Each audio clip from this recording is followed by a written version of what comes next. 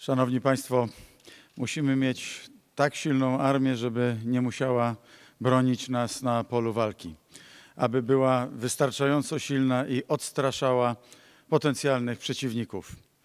Widzimy, co dzieje się dzisiaj na Ukrainie. Armia zbirów z Rosji, rzeźników, złoczyńców niszczy spokój domu ukraińskiego, niszczy życie na Ukrainie. Dzisiaj cała Europa, która zanurzona była w takim marzeniu o wiecznym pokoju, została wyrwana z tej geopolitycznej drzemki. I dlatego wszyscy dzisiaj rozmawiamy o nowych, o innych tematach, o innych sprawach, o takich, o jakich jeszcze dwa miesiące temu mało kto rozmawiał. O tym dyskutuję z kolegami różnymi w Unii Europejskiej. Tego dotyczą dyskusje na forum NATO. Budowa tak silnej armii, żeby była wystarczającą, odstraszająca na wroga, który pokazał, że może ten niszczyć spokój, że nie chce pokoju, że postępuje w sposób ludobójczy. Obrazy, które do nas docierają, mobilne krematoria, obcięte ręce, mordowani brutalnie ludzie, kobiety, dzieci, cywile w Buczy, w Hostomelu, Kramatorsku. To są obrazy, których nigdy nie zapomnimy. Ale to nie tylko współczucie, to nie tylko pomoc najróżniejszego rodzaju, która płynie do Ukrainy. To także musi wstrząsnąć sumieniami polityków w całej Europie. I tego dotyczą nasze działania. Abyśmy w Europie prowadzili politykę sumienia, a nie politykę interesów. Aby nie sprzedawać żadnych rodzajów broni, żadnych części do broni, żadnego uzbrojenia Rosjanom, którzy używają to potem, aby mordować niewinnych ludzi. Szanowni Państwo, polska armia od kilku lat, od kilkunastu lat jest coraz lepiej uzbrojona. Od kilku lat przyspieszyliśmy program zbrojeń. Dokonaliśmy zamówień najnowocześniejszego sprzętu na świecie. To samoloty F-35 oprócz F-16, które kupiliśmy już kilkanaście lat temu. To system obrony przeciwrakietowej Patriot także najnowocześniejsze technologie. To także siła artyleryjska, siła ognia, to także hajmarsy. Wszystko to, co na współczesnym polu walki decyduje o zwycięstwie. Mało kto o tym wie, ale na Ukrainie dzisiaj obok najbardziej bohaterskich żołnierzy ukraińskich walczą także różnego rodzaju, różnego rodzaju sprzęty, broń, również produkowana w Polsce, broń defensywna. I walczą także te sprzęty, które tutaj pan prezes mi e, pokazywał. To najlepsze połączenie polskiej myśli technicznej, technologicznej ze zdobyczami technicznymi całego świata. A z mojej perspektywy, jak patrzę na najszybsze możliwe podejście do podniesienia e, sprzęt, podniesienia jakości polskiej armii poprzez wysokiej jakości sprzęt, to właśnie współpraca pomiędzy przedsiębiorcami prywatnymi, tak jak tutaj WB Electronics, WB Group i polską armią jest tym, na co położymy największy nacisk. Wiemy doskonale, że pełne, pewne eksperymenty z ostatnich 30 lat się udały, a pewne się nie udały. Nie chcę w to za głęboko wchodzić. Dziś mogę tutaj z tego miejsca Państwu zadeklarować, że zrobimy wszystko, żeby jak najbliższa współpraca pomiędzy polskim systemem uzbrojenia a mamy znakomite systemy, choćby takie jak tutaj w WB Group. Polska armia będzie kupować tego typu sprzęty. Współpraca pomiędzy polskimi systemami uzbrojenia a polską armią musi zostać podniesiona na znacznie wyższy poziom. Zakupy za granicą to jest oczywiście najnowocześniejszego sprzętu, bardzo, bardzo ważne, ale także budowa naszego potencjału uzbrojenia to równie ważny temat i położymy na to ogromny, ogromny nacisk. Szanowni Państwo, wielki wódz powiedział kiedyś, że jeżeli nie chcemy karmić własnej armii, to będziemy karmić cudzą. To ważne słowa, bo jeszcze niedawno nikt na poważnie nie, nie brał pod uwagę ryzyka, że obca armia może napaść spokojny kraj, że bestialski reżim może mordować niewinnych ludzi a to się dzieje na naszych oczach. to straszne zbrodnie rosyjskie, które wszystkich nas wybudziły z tego snu, a zwłaszcza przywódców zachodniej Europy. To jest dzisiaj potężne zagrożenie geopolityczne. To przebudowuje cały system polityczny dzisiejszego świata. I nie tylko ta wielka zmiana wprowadza dzisiaj do Polski i do całej Europy putinflację. Inflację Putina, czyli putinflację. Ale także ta zmiana może doprowadzić do tego, że nasze spokojne życie, nasz normalny rozwój będzie zagrożony. Nie dopuśćmy do tego. Starajmy się wspólnie w zgodzie, cała polska klasa polityczna, ale przede wszystkim wszyscy Polacy to rozumieją, przeznaczać jak największe środki na polską armię, po to, żebyśmy nie musieli przeznaczać kiedyś na armię rosyjską. Dziękuję. Dziękuję. Proszę o zabranie głosu prezesa WB Electronics, pana Piotra Wojciechowskiego. Panie premierze, szanowni państwo, przede wszystkim panie premierze chciałem bardzo podziękować za to, że znalazł pan czas na odwiedzenie polskiej zatrudniającej 1400 inżynierów, pracowników, którzy od wielu lat stanowią istotne ogniwo w bezpieczeństwie państwa, produkując najnowocześniejszy, najbardziej wydajny sprzęt, który, co istotne, my od 2014 roku jesteśmy na wojnie na Ukrainie z naszymi urządzeniami. Te urządzenia są w pełni przetestowane, używane i znakomicie się sprawują w tym konflikcie. Chciałbym też bardzo podziękować naszym pracownikom, naszym inżynierom, że oni potrafili stworzyć tak znakomite wyroby. Potrafili zrobić przede wszystkim radiostacje taktyczne, produkujemy je w Polsce. To bardzo nowoczesne rozwiązania. Produkujemy systemy artyleryjskie. Wspólnie z grupą PGZ dostarczamy najnowocześniejsze uzbrojenie, jeżeli chodzi o systemy artyleryjskie. System Topaz jest systemem klasy światowej. Także chciałbym jeszcze raz podkreślić, że system FlyEye, system krążącej amunicji, system krążącej amunicji znajduje się w Wojsku Polskim. Systemy FlyEye znajdują się w Wojsku Polskim. To są systemy, które są w tej chwili najlepsze i sprawdzają się znakomicie w konflikcie o dużej intensywności. Na dzień dzisiejszy jest czas, gdzie powinniśmy się przygotować, powinniśmy być gotowi na to, co może się wydarzyć. Doświadczenia na Ukrainie pokazują, że jak przyjdzie czas kryzysu, nie będzie czasu na zakupy. W tej chwili Polska musi kupować ten sprzęt. My jesteśmy gotowi dostarczyć, nasi pracownicy, nasi inżynierowie, jesteśmy gotowi dostarczać wszystko, co najlepsze. Dziękuję bardzo. Teraz mamy czas na kilka pytań. Poproszę stosować zasadę jedno pytanie od jednej redakcji. Dzień dobry, Arnold Nadolczak, Polsat News. Panie premierze, mam takie pytanie w kontekście wizyty szefowej Komisji Europejskiej w Warszawie. Donald Tusk dziś stwierdził, że rząd zmarnował okazję, by domknąć sprawę KPO. Czy rząd postawił jakieś nowe warunki, które spowodowałyby, że wbrew oczekiwaniom nie zostanie ogłoszenie dziś odblokowanie tego funduszu i prosiłbym też o komentarz do słów prezydenta Francji Emmanuela Macrona. Szanowni Państwo, już od kilku miesięcy niektórzy próbują narzucać taką narrację, że już jest bardzo blisko. Ten, kto tak robi, służy przede wszystkim interesom Komisji Europejskiej, bo to próbuje nam narzucić swoje zdanie i próbuje wymusić pewnego rodzaju porozumienie, do którego e, my nie jesteśmy jeszcze gotowi. My przedstawiliśmy nasze warunki brzegowe. E, wiem, że Komisja Europejska się intensywnie nad nimi teraz zastanawia i sądzę, że w najbliższych tygodniach jest spora szansa, aby doprowadzić do porozumienia. Jestem dobrej myśli, bo Widzę, że Komisja Europejska bardzo dużo zrozumiała, że bardzo dużo zrozumiała, jaka jest faktycznie rzeczywistość w Polsce.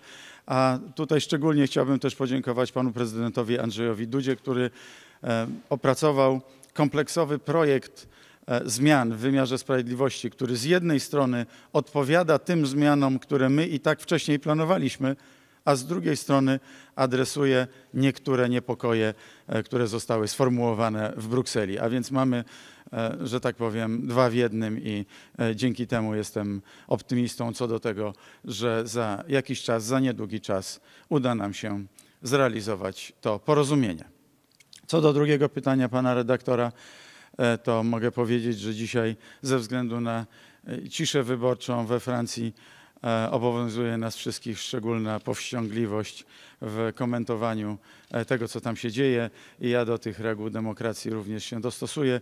Powiem tylko, że generalnie, zasadniczo e, dla mnie to, co Rosjanie robią na Ukrainie, to jest ludobójstwo. To są straszne rzeczy i e, wszyscy, którzy są za to odpowiedzialni, powinni przede wszystkim odpowiadać przed Międzynarodowym Trybunałem do spraw zbadania zbrodni rosyjskich.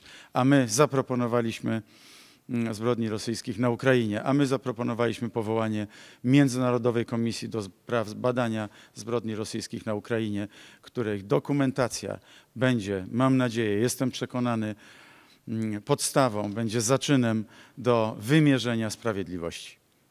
Dziękuję. Proszę o kolejne pytanie. Dzień dobry, jestem Bruszewska, TVP Info. E, Panie premierze, powiedział pan, zrobimy wszystko, aby współpraca pomiędzy polskimi systemami uzbrojenia a polską armią została podniesiona na najwyższy poziom. Jak zatem miałoby wyglądać to zacieśnienie? Szanowni Państwo, dużo tutaj właśnie z Panem Prezesem powiedzieliśmy. Współczesne pole walki to współpraca pomiędzy różnymi systemami, systemami łączności. E, Polskie systemy e, radarowe na przykład cieszą się niesamowicie pozytywną opinią na całym świecie, ale także znakomite polskie produkty, takie jak tutaj grupy e, WB Electronics, są kupowane na całym świecie. To znaczy, że się sprawdzają na polach bitwy, to znaczy, że bronią bezpieczeństwa, bronią pokoju innych państw. I to oznacza także dla nas, że musimy w odpowiedni sposób em, zbudować e, cały system uzbrojenia polskiej armii, e, przebudować także, aby korzystać z polskiej myśli technicznej, z, której korzystają już e, wojska na całym świecie. To jest też bardzo dobra wiadomość. Wielka nadzieja na super uzbrojenie polskiej armii w najbliższych latach. Szanowni Państwo, widzimy, że dzisiaj Ukraina kupuje czas dla całej Europy, także dla Polski. Nikt chyba nie ma wątpliwości, że rzeźnicy z Kremla, gdyby zwyciężyli na Ukrainie, pójdą po kolejne cele. Nie chcemy być w ich niewoli, nie chcemy być w kolejny raz w zależności od strasznych rosyjskich zbrodniarzy. Dlatego dzisiaj wszyscy musimy się skonsolidować, nie dać się sprowokować, walczyć ze skutkami wojny i zbroić się, zbroić, jeszcze raz zbroić.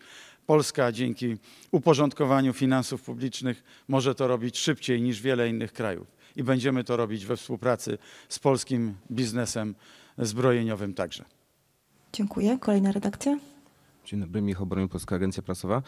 Panie premierze, chciałem się zapytać, ponieważ e, w związku z rosnącą inflacją, jak i też wojną na Ukrainie, e, czy rząd zamierza podjąć jakieś dodatkowe działania oprócz zapowiadane, zapowiadanego obniżenia podatków, jakichś działań antyinflacyjnych? I czy w związku z tym w najbliższym czasie można się spodziewać nowelizacji budżetu na ten rok? Dziękuję.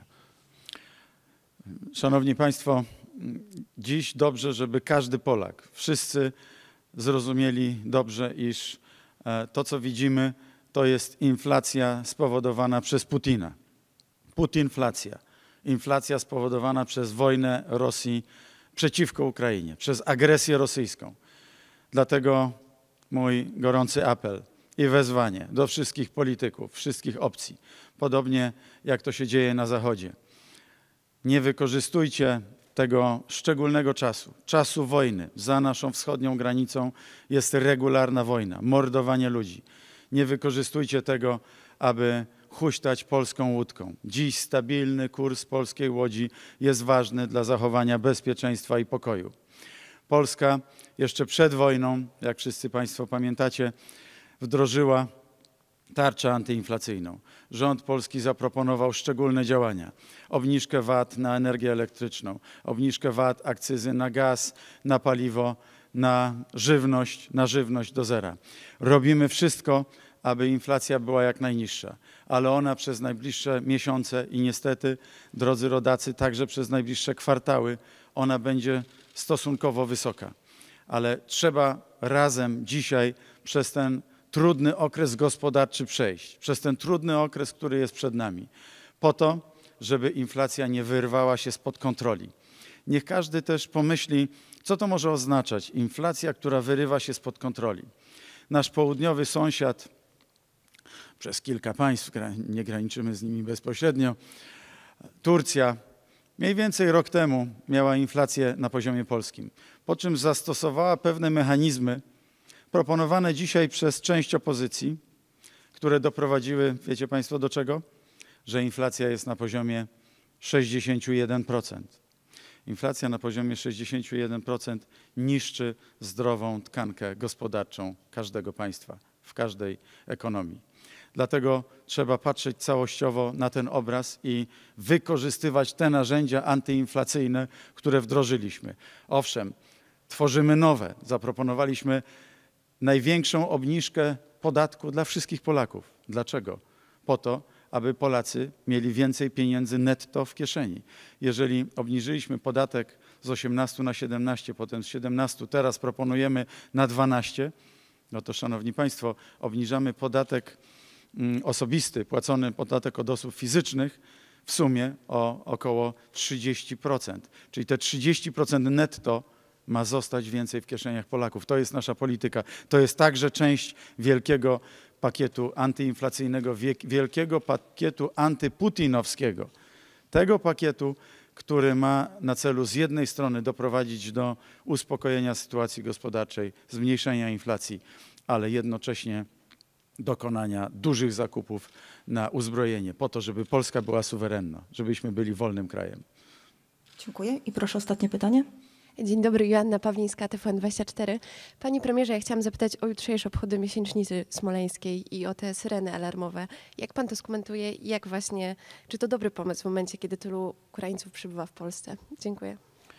Dziękuję bardzo. Szanowni Państwo, jutro wyjątkowa rocznica. Rocznica wielkiej tragedii, tragedii polskiej. Rocznica największej tragedii współczesnej Polski, kiedy polska elita z panem prezydentem Lechem Kaczyńskim udawała się do Katynia, aby oddać hołd naszym ofiarom, ofiarom e, sowieckiej zbrodni w Katyniu, to e, doszło do gigantycznej tragedii i nasi przywódcy zginęli. Wszyscy polscy patrioci wiedzą, że trzeba czcić tą pamięć. Trzeba czcić pamięć o e, wielkich Polakach, o prezydencie Lechu Kaczyńskim i wszystkich ludziach dobrej woli, wspaniałych politykach tamtej ery, tamtej, tamtego czasu, którzy jechali, aby uczcić tę rocznicę. Aby e, wszyscy Polacy wiedzieli, że jest ten wyjątkowy moment, podjęliśmy decyzję, aby w polskich miastach, miejscowościach zawyły syreny. Żeby nasi goście z Ukrainy nie czuli niepokoju, każdy z nich już dzisiaj dostał SMS-a, żeby wiedział, że iż jutro takie syreny w wielu polskich miastach e, odezwą się. Niech to będzie memento, niech to będzie ten alarm, który podniesie naszą świadomość. Także świadomość tych, którzy czasami dzielą włos na czworo, którzy czasami próbują szukać dziury w całym i robić coś, mm, cokolwiek, żeby wzburzyć naszą jedność, żeby zburzyć także naszą jedność. Ja temu przeciwdziałam. Staram się po prostu e, szukać tego, co nas jednoczy i budować wspólny front w walce o suwerenną Ukrainę, bo pamiętajmy, oni tam walczą za nas. Ci mężowie, bracia, synowie tych kobiet i dzieci, tych kobiet dzieci, które do nas, do Polski przyjechały i my ich gościmy, oni tam walczą razem za naszą sprawę. Jestem przekonany, że oni tam doskonale wiedzą, do czego są, do czego są zdolni zbrodniarze rosyjscy. Do czego byli zbrodni w do czego byli zdolni w niedalekiej przeszłości, do czego byli zdolni w dalszej przeszłości, w czasie II wojny światowej, w przypadku Katynia, Starobielska, Ostaszkowa i do czego niestety są nadal zbrodni, zdolni dzisiaj. Widzimy, co dzieje się na Ukrainie, szanowni państwo, i niech te syreny przypomną nam o tym wszystkim, że to nie jest normalny czas, czas pokoju, bezpieczeństwa, bo ten normalny czas został zburzony przez zbirów i bandytów z Kremla.